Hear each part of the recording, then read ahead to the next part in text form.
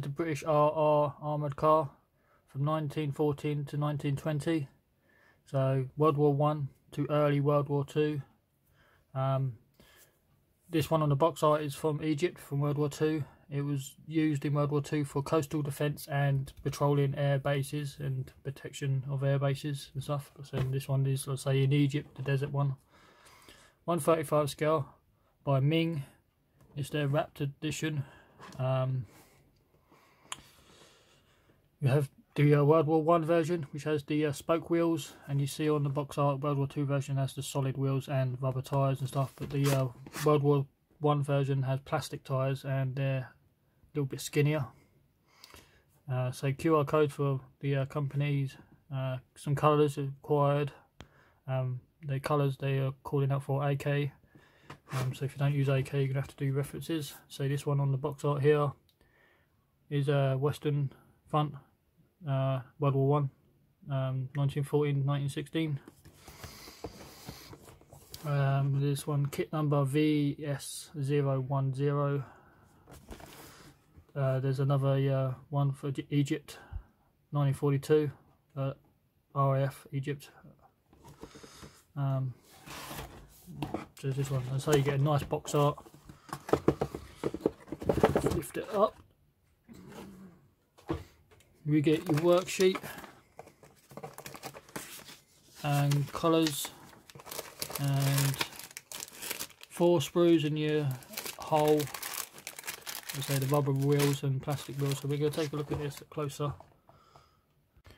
So you're greeted with your manual um, variants of a little bit of information on the kit uh, different languages It's a nice pull-out page. You have got tools are required for the kit, um, how to use them, but we all know know how to use this. Um, so you've got three, sorry, four options up the top: A, B, C, and D. So be careful. There might be slight variances, like I mentioned, with the wheels. Um, C and D have got extra machine gun on the top. These ones haven't. So just be aware. You start off with the uh, undercarriage it's a chassis, um, exhaust system, um, and the, color, the two colour callouts. You have to verify what they are. I think the undercarriage is black, probably. And then it's on the suspension. Um, looks like gearbox and drivetrain and transmission and stuff, whatever. And you got your upper superstructure of the armoured car. Putting the uh, back doors on, front grille, which is here flipping it over, putting in the wooden flooring, uh, bottom superstructure of the floor, sandwich it all together. Then you got the back deck, yep, which is a little uh, area for um, cargo and stuff probably, and ammo boxes maybe or whatever. But that again, that's like in the real vehicle, it's wood, so you're gonna have to paint it up in wood texture and grain and whatever. Um, another storage box hanging racks. Uh, again you've got the fenders ammo boxes. More storage. Storage going on again. Not too sure what these square pieces are. Going to the front of the vehicle. You've got your armoured cover to go over the uh, driver. Um,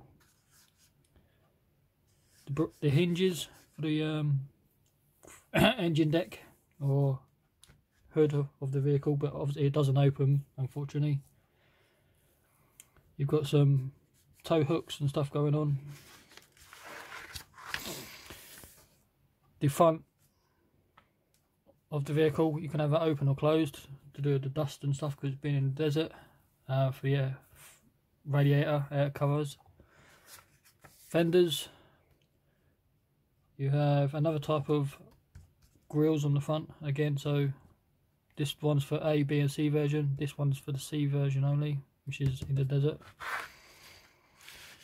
All your headlamps going in. Um, you've got this piece here. I'm not quite sure what that is.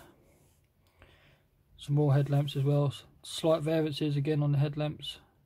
This is for A and B this is for D and C version so there's slight variances. This one's got extra looks like fuel cans early fuel cans on the side and more stowage but this one hasn't.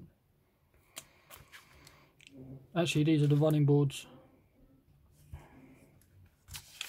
on the side of the vehicle steps. So it goes on to the World War One wheels which are the uh, spoke wheels which are done in etch and they've got skinny wheels so you'd be sandwiching it all together in sections or you can do the World War One wheels, uh, World War Two wheels, which are the solid piece with rubber. Um, I'll probably do the World War Two version because it's got a uh, decent camouflage and it's more colours. The World War One version is just grey and stuff, and it's boring, to, in my opinion. If I can get another kit, then I might do it. Do two of them, but as I I don't know yet. Uh, and then you're working on the turret. Uh, and you've got your Vickers machine gun inside. This is for the A and B version. This D and C version. Again, slight variance on the turret. Also, it's got a, another machine gun or gun of some sort. Not sure what that is. Putting up on top the uh, another Vickers machine gun. I think that is on top. So quite armoured. Dropping down your turret. Should be completely modelled by then. Yeah, and then you've got your sprue map. Colours.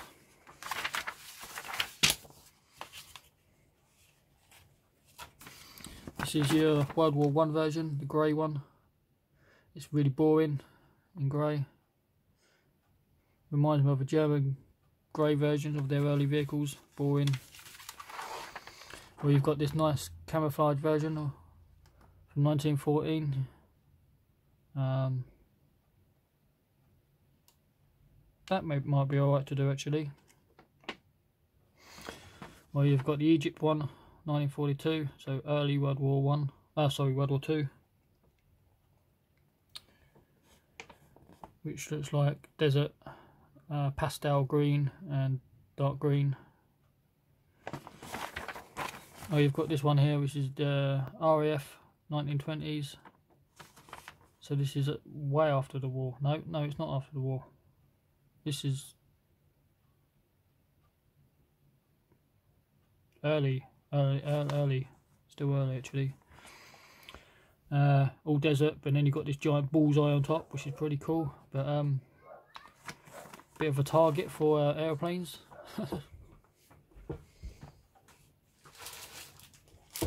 So we're going to take a look at the sprues now in no typical order.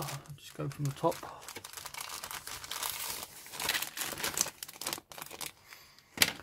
They've done their bags with like Tamiya with their staples.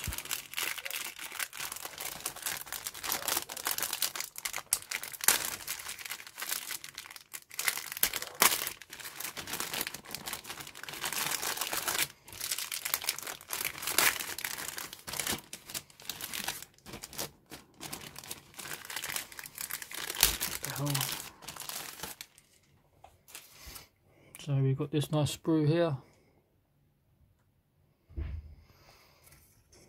There's one of the machine guns or guns. The doors with the bolts on it. Nice detail. One of the stowage boxes, and other stowage boxes you have to put together. The Vickers machine guns. Parts of the turret. There's the lower floor. There's the uh, inside of the floor which is that wood. Excuse me outside of the turret. Uh, the bolts again nicely detailed. Part of the uh, back. There's those doors on the front of the vehicle covering the radiator. You've got these detail parts probably to do the elevation of the guns inside.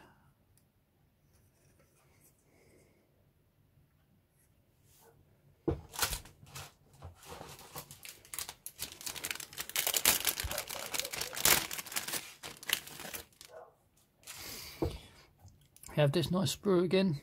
This one's got the uh, um,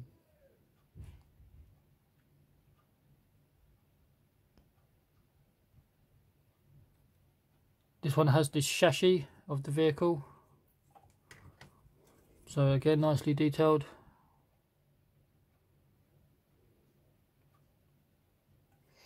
the fenders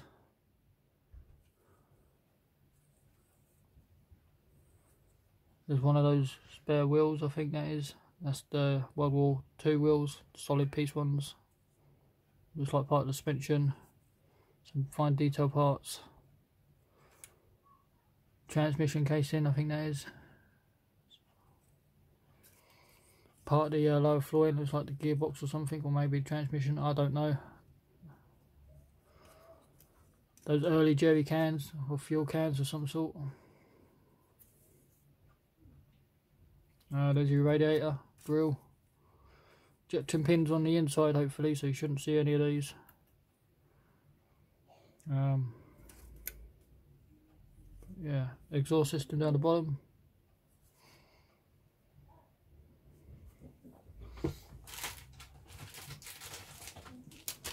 And this contains the uh, World War One wheels which are the plastic and they were just skinny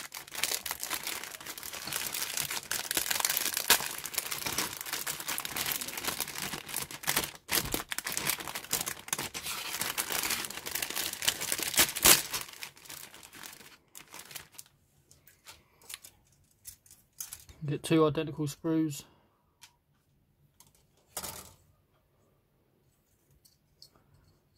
So again, oh, there's the uh, lights, insides, the wheels. These are the World War One, sorry, World War Two hubs. These are the World War One wheels. So there's the insides, which the photo spokes are going to, and then these the outer rubber wheels. Again, they're molded these ones are molded as one piece but these are molded as two piece. Strangely enough. Um, rough idea of what the tread looks like.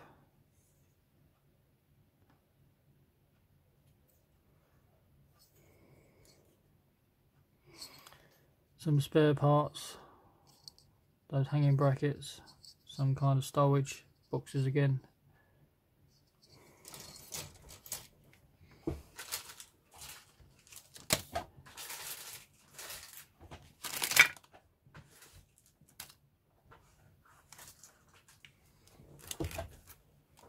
in here is your photo-etch spoke wheels you have to be careful doing these.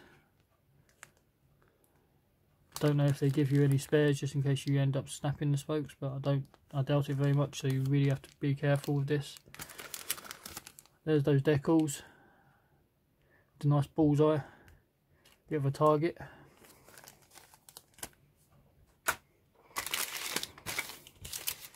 in here we've got some clear lenses. Not a lot to say about that.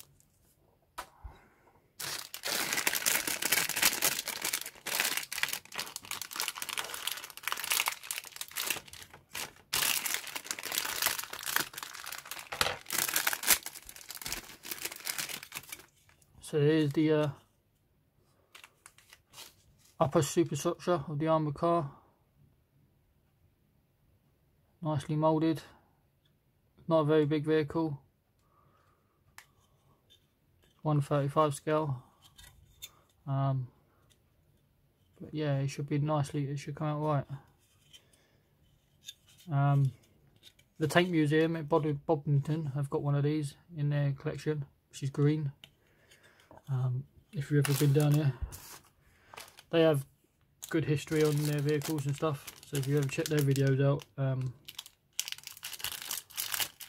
the tank chats and stuff they call it. Polycaps, probably for your wheels. This is part of your turret system. Um, so this will be going up here.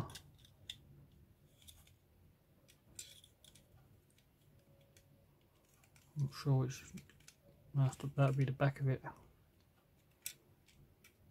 The back of your turret.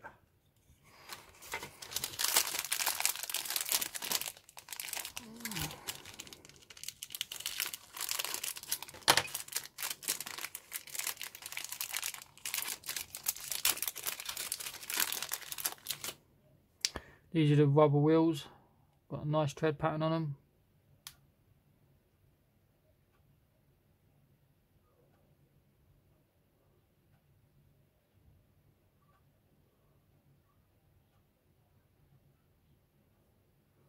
Again, not, they're nicely done. You get um, six in total. You need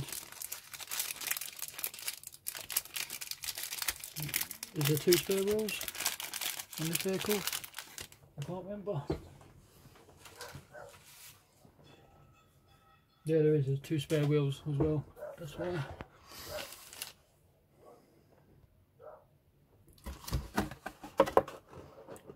So there you go, folks. There's another kit from Meng, Y5 35 scale British armoured car.